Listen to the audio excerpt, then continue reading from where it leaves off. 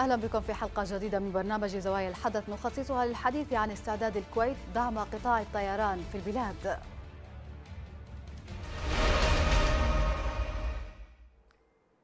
أبدت دولة الكويت استعدادها لدراسة طلب اليمن بتزويدها بثلاث طائرات مدنية. جاء ذلك خلال لقاء عقده وزير النقل صالح الجبواني مع نظيره الكويتي مبارك الحريص. وطلب الوزير الجبواني من الجانب الكويتي النظر في الدراسة المعدة لإنشاء ميناء قنا بمحافظة شبوة وإمكانية مساهمة الكويت في توفير الاحتياجات الملحة لتوسيع وتطوير مطاري سيئون وعتاق.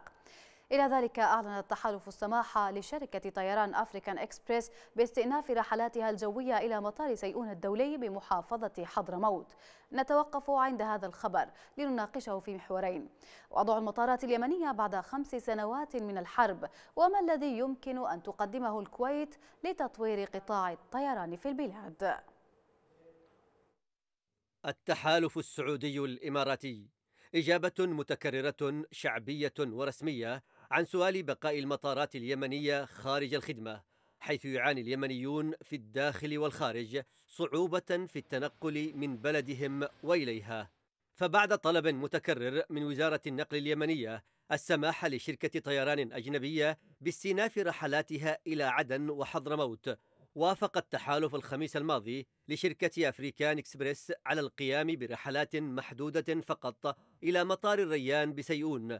مشترطا ضرورة خضوع الرحلات للإجراءات المتبعة من قبل التحالف. يعد مطار الريان الدولي ثالث أكبر مطار في اليمن بعد مطاري صنعاء وعدن. وتوقف النشاط فيه رغم تحريره في أبريل 2015 نتيجة لسيطرة الإمارات عليه. وفي نهاية نوفمبر الماضي عادت الحياة في المطار إلى طبيعتها مع وصول أول رحلة ركاب تابعة لطيران الخطوط الجوية اليمنية قادمة من القاهرة. وباستثناء مطار صنعاء الواقع تحت سلطة ميليشيا الحوثي والذي يحظى باهتمام دولي فإن المطارات اليمنية ظلت طوال الخمس سنوات الماضية واحدة من المشاكل العالقة بين الشرعية والتحالف الذي رفض أكثر من مرة حتى السماح لطائرات اليمنية بالمبيت في مطارات بلدها. وزارة النقل وفي محاولة منها لتفعيل النشاط الجوي اليمني توجهت إلى الكويت بطلب تطوير مطاري سيئون وعتق وإنشاء ميناء قنا بشبوة. وقد وعدت الكويت بدراسة هذا الطلب وأبدت استعدادها لرفض الطيران اليمني بثلاث طائرات مدنية. وقد فسر مراقبون تحركات وزير النقل صالح الجبواني بمثابة يأس واضح من تعديل التحالف لسياسته. ورسالة واضحة بأن الخيارات أمام اليمن متاحة وممكنة. إذا للحديث ينضم إلينا من سيئون مدير مطار سيئون علي بكثير. سيد علي مساء الخير. مساء النور. أهلا وسهلا. أهلا بك سيد علي. مطار سيئون اليوم يعد من أهم المطارات في ظل الإغلاق القسري لبقية المطارات. هل لك أن تقيم لنا الوضع في مطار سيئون؟ الحمد لله مطار سيئون ظل يقدم خدماته الجليلة لكل أبناء الوطن دون آه، تمييز ويقدم خدماته للمرضى ولل آه، للتجار أيضا وكذلك الطلاب للدراسة والحمد لله العمل مستمر فيه على قدم وساق. تمام بالتالي ما هي الأهمية التي يمثلها مطار سيئون لقطاع النقل في البلاد في هذا الوقت بالذات؟ لا شك أن مطار سيئون منفذ جوي آه، للجمهوريه اليمنية يقدم خدماته تمكين أبناء الوطن من السفر للخارج سواء لتلقي العلاج أو الدراسة أو التجارة أو غيره. وهو شريان آه، رئة يتنفس بها أبناء الوطن. والحمد لله آه، رب العالمين نحن في في جهود مستمرة من أجل تذليل اسعاد المسافرين وتقديم لهم أفضل الخدمات بإذن الله تعالى. بالتأكيد في هذا الوضع المطار بحاجة إلى تطوير، ما هي مطالبكم لتحسين حركة الملاحة في مطار سيئون؟ لا شك أن مطار سيون يعمل بإمكانيات محدودة وشحيحة إلا أنه استطاع أن يستمر في تقديم خدماته لكل أبناء الوطن وهناك احتجاجات لتوسعة مرسى المطار بحيث إنه يتسع لأكبر عدد ممكن من الطائرات في ظل الطلب المتزايد لشركات الطيران وكذلك تحسين مستوى أداء الاتصالات البرج المراقبه والحمد لله لمسنا اهتمام وتعاون من قبل معالي وزير النقل ومن قبل الهيئة العامة للطيران المدني وكذلك بدعا السلطة المحلية كانت على اطلاع بكثير من المشاريع التي إن شاء الله ستكون حاضرة في المستقبل القريب. أرجو أن تبقى معي. أضم إلينا من كوالالمبور الناشط السياسي عبد الواحد العوبلي. سيد عبد الواحد مساء الخير. لو تسمعني. مساء الخير أختي أفنان الله يحييك. سيد عبد الواحد مع الحرب تأثر قطاع النقل في البلاد بشكل كبير. ما هي أشكال الضرر؟ هذا من وجهة نظرك؟ أنا بس شيء أعقد على على كلام الأخ مدير مطار سيون. أن الكويت لها باع وتاريخ طويل في دعم مساعد في دعم ومساعده اليمنيين. والمساعدات الكويتية تتميز آه، خصوصا التي ظهرت فترة الحرب أنها ذات طبيعة مستدامة وتقدم عون ومساعدة نلمس نتائجها كيميائيين على أرض الواقع ودون ضجيج ودون دعاية. وهذه الطائرات لو فعلا تم تقديمها وفعلا تمكنت الحكومة من الحصول عليها ولم يفرض عليها التحالف العربي أي قيود فستكون خطوة جيدة للاستجابة إلى الطلب المتزايد في عدد المسافرين من وإلى اليمن وتجنبهم الانتظار لايام طويلة للحصول على حج. تمام أرجو أن تبقى ف... معي، نعم تفضل تفضل. لكن بحكم المشكلة هنا أن القيود الكثيرة أو المعقدة التي تضع التحالف على حركة الطائرات في الأجواء اليمنية والتي تمنع الطائرات من المبيت في المطارات اليمنية وتمنعها من الحصول على خدمات الصيانة اللازمة التي تكلف عشرات الآلاف من الدولارات بالإضافة طبعا إلى الحصار الذي يفرضه الحوثيين من جهة أخرى على المعدات والأدوات الخاصة بالصيانة الموجودة في مطار صنعاء. والتي يمنعون نقلها إلى إلى المطارات الأخرى في عدن أو في أم. طيب ما هي الأسباب من وجهة نظرك التي تدفع التحالف لمنع إعادة تشغيل المطارات اليمنية بشكل كامل؟ من بداية الحرب والتحالف يفرض حصار خانق على اليمن بشكل عام ويقوض الاقتصاد اليمني يعني موضوع الطائرات والمطارات اليمنية هو موضوع متصل نعم. وذو علاقة مع مثلا منع التحالف لليمن بأن يستأنف آه، تصدير النفط الخاص به، أن يستأنف تصدير الغاز المسال، أن يفرض سيطرته على على موانئه وعلى وعلى على منافذه البرية والبحرية. الاقتصاد آه، معروف إنه تمكن الحكومة اليمنية من السيطرة على اقتصادها معناه تمكنها من اتخاذ قرارها آه، بشكل مستقل وبعيد عن النفوذ والسيطرة الخاصة بدول التحالف الإمارات والسعودية. لذلك آه، هم يحرصون على تقويض اليمن تقويض القرار السياسي لليمن عبر حصاره وتقييده اقتصاديا. وما مجال الطيران أو المطارات أو الطائرات إلا جزء من هذا بالضبط. بالتالي ما هو دور الحكومة الشرعية المفترض قيامها به أمام هذا العبث حيث وان سيادتها على مطاراتها على الأقل منتهكة؟ الحكومة الحكومة للأسف الشديد إما متواطئة أو خانعه مع مع التحالف. من أول يوم آه، آه، بدأت آه، بدأت في عملية التحالف في اليمن والحكومة تغض الطرف أو تصفق لما يقوم به لما تقوم به قوات التحالف في اليمن والتي كان أبسطها يعني أبسطها حتى بعد تحرير الجزء الأكبر من الأراضي اليمنية. لا يزال حتى اليوم التحالف يمنع الطائرات اليمنية من من من المبيت في في المطارات اليمنية. وهذا الموضوع يكلف عشرات الآلاف من الدولارات لكل طائرة وبشكل يومي. وهذه المشكلة تسبب آه، أن الطائرات هذه نفسها لا تحصل على العمليات الصيانة اللازمة للاستمرار ولضمان آه، بقاء الأسطول الطائر في مستوى آه، فني متوافق مع المعايير الدولية. فالحكومه نفسها زي ما قلت يا إما متواطئة أو خانعة من التحالف ولم تتكلم ولم نسمع كثير ربما تصريحات هنا وهناك لكن لم يحصل أن وجد قرار أو وقفة آه، موقف واضح من الحكومة اليمنية ضد هذه الممارسات التي تمارسها آه، قوة التحالف آه، ضد ضد مصالح اليمن ومصالح اليمن وسيادته نعم أرجو أن تبقى معي. أعود لضيفي من مدير مطار سيئون من سيئون أيضا السيد علي باكثير. سيد علي التحالف هناك أخبار تتحدث عن أن التحالف أعطى أذون أو تراخيص لشركة أفريكان إكسبريس بعيدا عن الشركات الأخرى. ورفض إعطاء الأذون هذه والترخيصات للشركات الأجنبية الأخرى. كيف تفسر ذلك؟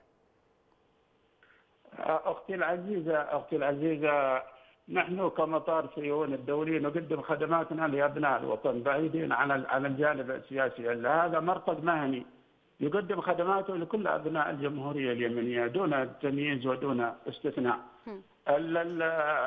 حزبنا هو مطارنا وهدفنا هو خدمة شعبنا بكافة شرائحه وبكافة مستوياته. نعم. المواضيع الأخرى التي ليس في اختصاصاتنا ليس لنا الحق حتى في التطرق إليها. أنا مدير عام مطار سيون شخص مهني آه، مدني بحت. لا لا أتعلق في في في الأمور نعم. اذا هذا ما ترجحه؟ هذا وفق ترجيحك لكن نعم, نعم. هذا وفق ترجيحك لكن في الواقع المنع على حركة الملاحة الجوية. هناك منع على حركة الملاحة الجوية. أنت لا تريد أن تتحدث عن السياسة لكن في الواقع هناك منع على حركة الملاحة الجوية في مطار سيئون. إلى أي مدى يؤثر ذلك؟ على حركة الملاحة والله الحقيقة شركة أفريكانا إكسبريس أعطي لها التصريح قدمت تصاريح وكذلك هناك إذا كان هناك فعلا منع ما هي الشركات التي منعها من العمل في في في اليمن؟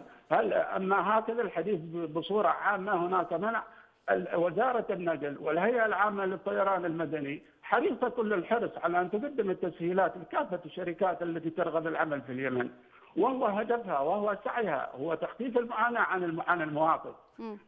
هل أنا أرد السؤال هذا ما هي الشركات التي قدمت العمل في اليمن أو في مطار سيون أو غيره وتم رفضها. وتم رفضها. أما قضية التحالف ما التحالف فالمسألة واضحة يعني نحن في البند السابع وهناك أمور آه، آه، سياسية وأمور عسكرية وتفرض بعض الحالات كما تفرض بعض الحالات ولكن ولكن الحمد لله تعالى هناك ثلاثة في في في, في إيجاد التصاريح إضافة إلى أن اليمنية أكثر من مرة تبيت في مطار سيئون ويتم لها الصيانه لالفه شكل بكل حرية وبكل سلاسه والحمد لله رب العالمين. نحن في هذه الفترة حقيقة لابد أن نخدم المواطن بأكبر قدر ممكن من المساعدة.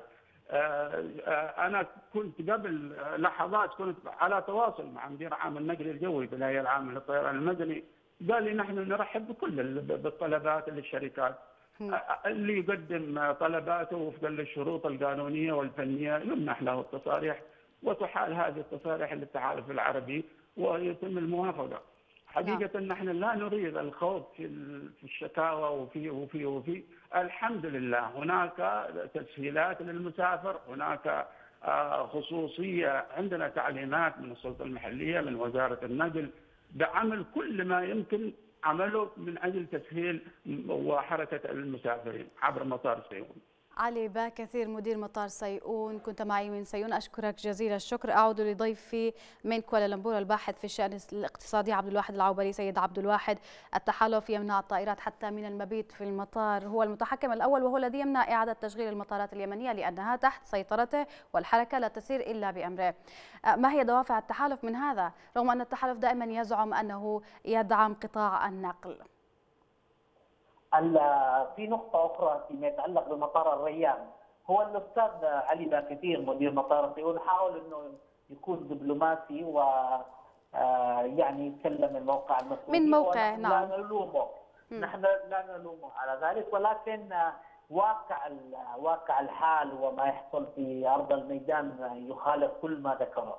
إنه على سبيل المثال إحنا عندنا مطار الريان، مطار الريان توقفت الرحلات إليه بعد يومين أو ثلاثة من بدءها، من المسؤول عن ذلك؟ وما المشكلة؟ بالضبط. هل يستطيع الأستاذ علي باكثير أن يقول لنا إلى مشكلة؟ هو لم لم يشاء التحدث لم يشاء التحدث والخفض في المشاكل والأمور السياسية كما وصفها براحته ونحن نتفهم موقفه ونتفهم آه، وقوعه تماما ونشكره على كل الجهود التي يقومون بها في مطار سيون. بالفعل مطار سيون هو أفضل مطار آه، يعمل حاليا داخل اليمن وهذه جهود يجب أن يشكروا عليها. نعم. لكن موضوع إنه التحالف لا لا لا يمنع الشركات من الحصول إلى اليمن، هل حصل أن مثلا الهيئة العامة للطيران المدني والأرصاد فتحت مناقصة أو دعت الشركات العربية والأجنبية للحضور أو تشغيل رحلاتها إلى اليمن. نعم أو أبسط سؤال يلقي بنفسه ما هي الشركات التي تعمل هنا في اليمن في المطارات؟ ما هي الشركات التي توصل؟ ما هي الشركات التي تسير رحلات؟ لكن لا جواب. نعم تفضل. أه، هو هو في أه، رحلة الأفريكان إكسبريس. الوحيدة. هذه طائرة أه، صومالية أو شركة صومالية تشغل من نيروبي إلى إلى إلى هيئون. رحلة خاصة بالمغتربين اليمنيين وهي حصلت بشكل أو آخر على التصاريح. لكن معروف إنه الشركات اللي شغالة هي شركة بلقيس التابعة للتاجر العيسي والمتنفذ في في مكتب الرئاسة. ومعروف إنه الطائرات التي حصلت اللي يضمها وصول هذه الشركات كلها خارج خارج تواريخ الصلاحية وقديمة جدا والجوبواني نفسه وزير النفط وزير النقل هو من مرر بشكل مخالف للقواعد مخالف للقوانين تشغيل هذه الطائرتين بالرغم إنه يعرف انهن في منتهى القدم في منتهى القدم وفي حالات متهالكة. فالموضوع كله يضيع ما بين آه، تحكم التحالف العربي بالوضع داخل اليمن والاجواء والمشهد بشكل عام وبين الفساد المستشري داخل الحكومة اليمنيه. نعم أرجو أن تبقى معي أيضا ينضم إلينا من مأرب الصحفي عبد الحفيظ الحطامي سيد عبد الحفيظ مساء الخير مساء النور أختي الكريمة لك ولضيوفك الكرام. شكرا لك. سيد عبد الحفيظ تحركات جديدة تقوم بها الحكومة لإعادة تشغيل قطاع النقل كان آخرها زيارة وزير النقل الكويت وطلب تزويد اليمن بطائرات مدنية. برأيك ما الذي دفع الحكومة لهذه الخطوة؟ نعم طبعا الجمود الذي صاحب توقف حركة النقل الجوية بشكل عام وأصيبت بالشلل خلال السنوات الماضية عدا مطار سيئون الذي بقي ينبض منفردا. ورغم ذلك كانت هناك مشكلات فيما يتعلق بالطيران وتحكم قوات التحالف بمدارج الطيران عموما في حتى في المطارات المدنيه الطرف سيد عبد الحفيظ أعتذر يعني منك لرداءة الصوت ربما نعيد الاتصال بك لأن الصوت يتقطع. اذا أعود للسيد عبد الواحد. عبد الواحد لو خصصنا الحديث وحددنا حول آثار إيقاف العمل في المطارات اليمنية على إيرادات البلاد من جهة وعلى المواطنين من جهة أخرى ما هذه الآثار برأيك؟ الأهم من موضوع الإيرادات هو موضوع تعطل مصالح اليمنيين. يعني بعد ما حصلت المشاكل في في عدن مثلا اضطر كثير من المسافرين سواء القادمين إلى اليمن أن ينزلوا مثلا في سيئون ويضطروا انهم يباتوا أكثر من يوم وربما أكثر من أسبوع في مطارات الانطلاق لكي يستطيعوا الحصول على رحلات إلى إلى سيئون. وبالتالي يتجسمون أو يتكبدون مشقة الطريق من سيئون إلى صنعاء أو إلى تعز والمناطق في في غرب اليمن. فنفس الشيء بالنسبة للناس الموجودين في في نهرة أو في المكلا تعطيل مطار الريا طوال هذه السنوات أيضا بيسببهم مشقة السفر إلى سيئون يعني يتمكنوا من السفر إلى الخارج. نحن نتكلم على طلاب ملتزمين بمواعيد الدراسه نتكلم عن مرضى كثير منهم حالتهم حرجة ويحتاجوا للسفر بشكل بشكل عاجل للحصول على على الرعاية الطبية اللازمة بنتكلم على مغتربين آه، تم ترحيلهم من دول الاغتراب وليس لهم مكان آخر يذهبون إليه.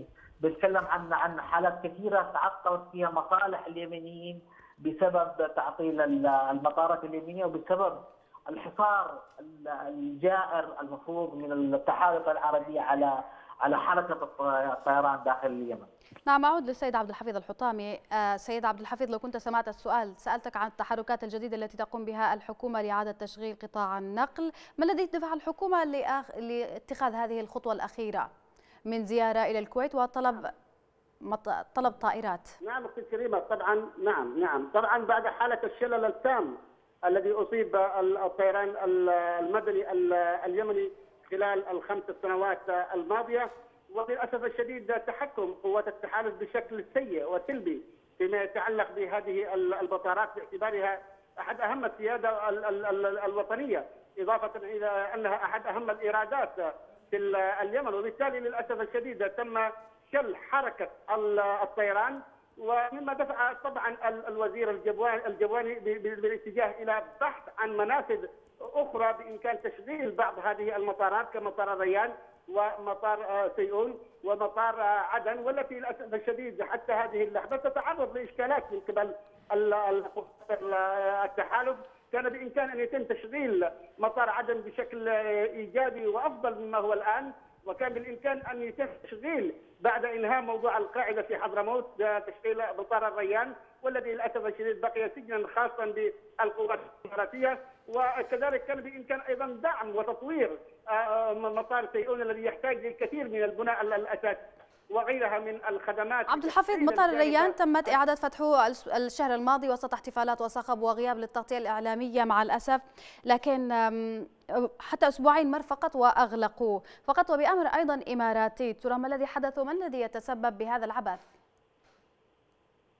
العبث للاسف الشديد واضح أصبح مستهدف للشرعية ومستهدف للشعب اليمني في سيادته وفي قراره السياسي واعتبار وأنا أعتبر مبادرة الحكومة عن طريق الجبوري وزير النقل من التحرك باتجاه الكويت وعقد اتفاقيات مع شركات طيران أخرى. هذا في اعتقادي قد قد يكسر حاجز ال ال ال ال ال ال الإهمال الذي مارسته قوات التحالف للاسف الشديد بحق السيادة الوطنية فيما يتعلق بالمطارات المدنية وهي بارقة خير لكن في اعتقادي بأن الوزير نفسه هو أصلا محارب من قبل وغير مرغوب فيه من قبل قوات التحالف للأسف الشديد لأنه صاحب قرار وطني مستقل. وبالتالي في اعتقادي بأنه الأيام القادمة ستكشف عن سياسة التحالف فيما يتعلق بمثل هذه التحركات رغم إعلان التحالف بأنه موافق في الآونة الأخيرة على اتفاقيات الافريكان إكسبريس. لكن في اعتقادي بأن إذا ما تم تشغيل هذه حركة الطيران في اتجاه سيئون أو حتى في الريان الذي للأسف الشديد أغلق بعد أسابيع وبعد أيام قليلة من فتحه من قبل الإمارات وباحتفاء واسع من قبل ميليشيات الإمارات واذنابها وبالتالي للأسف الشديد أغلق وبالتالي هذا قرار يعني يؤكد بأن ضلوع الإمارات فيما يتعلق بسلب اليمنيين إرادتهم وسلب اليمنيين مواردهم وسلب اليمنيين سيادتهم وسيادة الدولة الشرعية على المطارات وعلى الموانئ. وهذا معروف وأصبح جليا ومكشوفا من سياسة التحالف وخاصة دولة الإمارات المتحدة. نعم سيد عبد الحفيظ الحطامي الصحفي كنت معي من مارب أشكرك جزيل الشكر. أعود للسيد عبد الواحد العوبلي. سيد عبد الواحد آه، باختصار وبدقيقتين أرجوك لماذا لا توقف الشرعيه التحالف وفيها رجال يتحدثون عن عبث التحالف بمواردنا؟ آه سيدتي الكريمة طالما والحكومة اليمنية لا زالت غير متحكمة بقرارها الاقتصادي اذا هي ستظل تحت رحمة التحالف وتحت رحمة الانتصار الحاصل. نعم. موضوع الطيران المدني وحركة الطائرات هذا ليس إلا جزء من كل يتعلق بالاقتصاد. يجب أن تستعيد الحكومة سيطرتها على مواردها بداية من النفط والغاز وانتهاء بالمطارات ومرورا بالموانئ والضرائب والجمارك. العبث الحاصل من ناحية الفساد وسيطرة التحالف على مخانق البلد وتمكين من لا يحق لهم قانونيا ولا اداريا السيطرة على هذه على على على على مصائر اليمنيين هو من يسبب كل هذا العبث الحاصل. فالمسؤولين في الشرعية يتحملون جزء كبير من المسؤولية والحصار الحاصل من قبل قوات من قبل التحالف وقواته يتحملون الجانب الأكبر ومن الجانب الآخر الحوثي يكمل الباقي.